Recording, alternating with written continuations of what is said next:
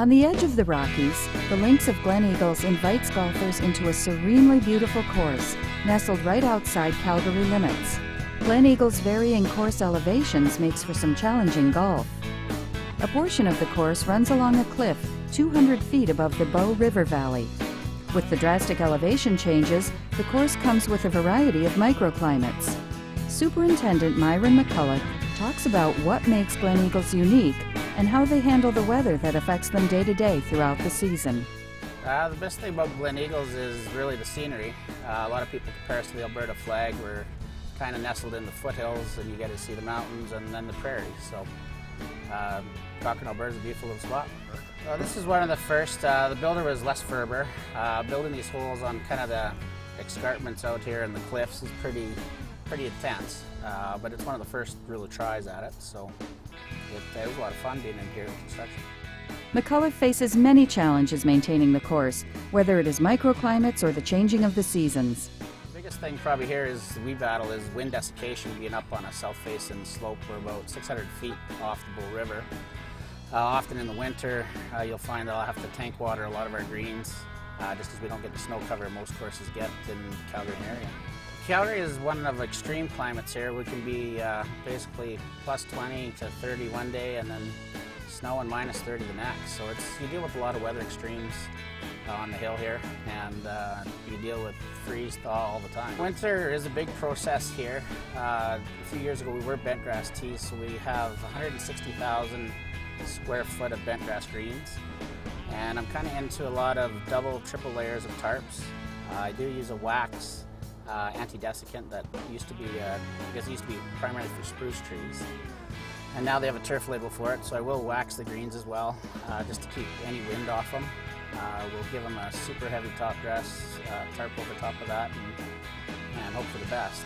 He has found that certain grasses grow well in this climate, especially Penncross bentgrass. The turf here, bent, uh, the greens are predominantly Penncross uh, bentgrass, and then Kentucky bluegrass is most of our primary cuts, fairways, and tees, and then uh, we've got a variety of fescues we use in the montane areas.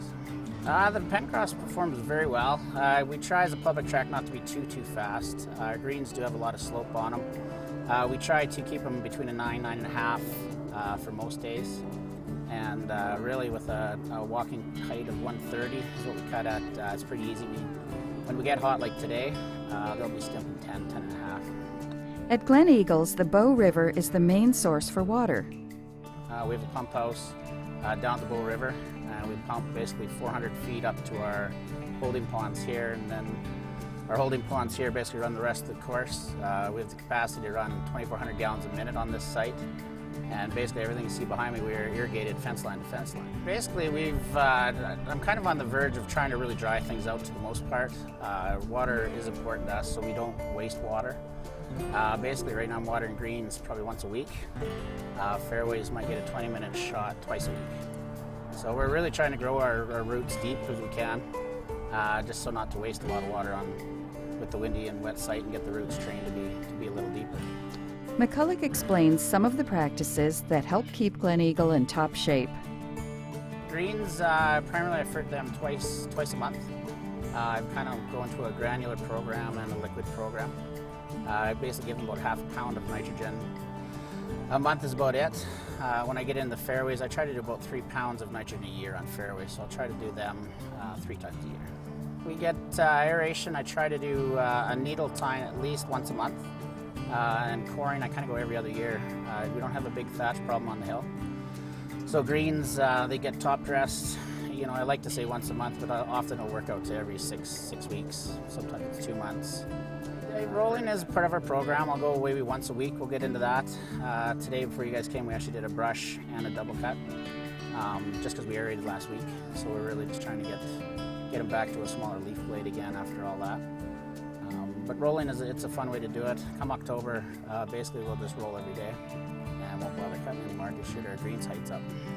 McCullough sees opportunity in making sure his staff is well trained and well informed.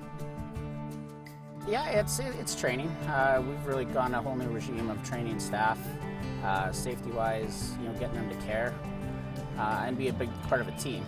Um, being three golf courses, again, it's it's sharing equipment. You know, whether it's aerators, passing it back and forth.